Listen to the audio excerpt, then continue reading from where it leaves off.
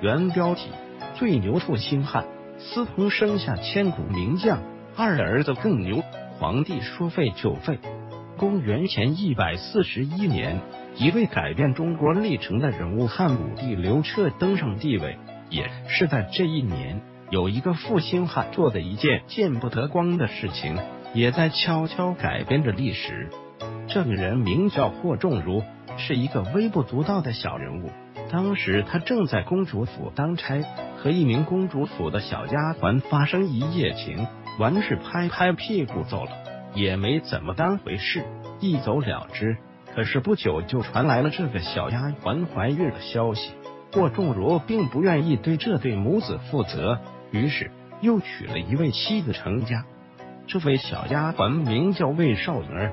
第二年的时候，这个小丫鬟生了一个儿子。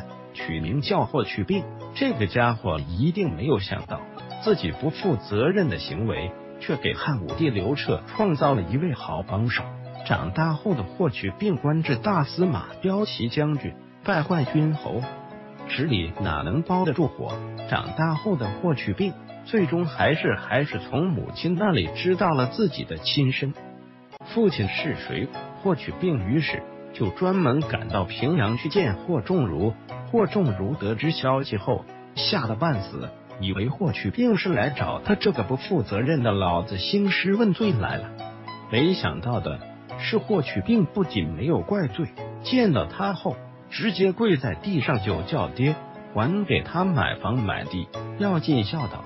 霍仲儒又羞又惨，无地自容，于是说：“老臣得托将军，此天利也。”霍去病不仅孝顺他父亲。对自己同父异母的弟弟也很不错。回长安的时候，把自己的弟弟霍光也带了回去，悉心教导，希望弟弟成才。霍光也确实没有让这个同父异母的兄弟失望。他勤奋好学，十几岁就开始做官，再加上各个的原因，很快就得到了汉武帝的器重。在汉武帝临死的时候，指定霍光成为汉昭帝刘弗陵的监护人。可惜的是，汉昭帝没当几年皇帝就死了。后来大权在握的霍光就立汉武帝的孙子昌邑王刘贺为皇帝。可惜的是，霍光选的这个继承人堪称龙中败类，在位二十七天就坏事做尽。霍光恼羞成怒，一气之下就废了刘贺，立刘病己为新的皇帝，就是后来的汉宣帝。霍光见刘病已表现不错。还把自己的女儿嫁给了他，后来成为汉宣帝的第二任皇后，帝王之位都有霍光一言而决。可见霍光的权力达到了什么程度？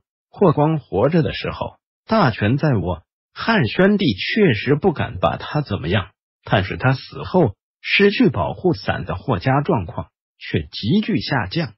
公元前六十八年，霍光去世。汉宣帝刘病己决定清算霍家。先是有人告发霍光的夫人为了让女儿当上皇后，毒死了他的第一任皇后许皇后。后来又有人说霍光曾经密谋造反，在众多证据的面前，霍家根本无力辩驳。霍光之子霍宇被判腰斩，霍云、霍山自杀，霍光女儿被废，十二年后自杀。霍家所有男丁全部被杀，不仅如此，此事还牵连数千家人被灭族。返回搜狐查看更多责任编辑。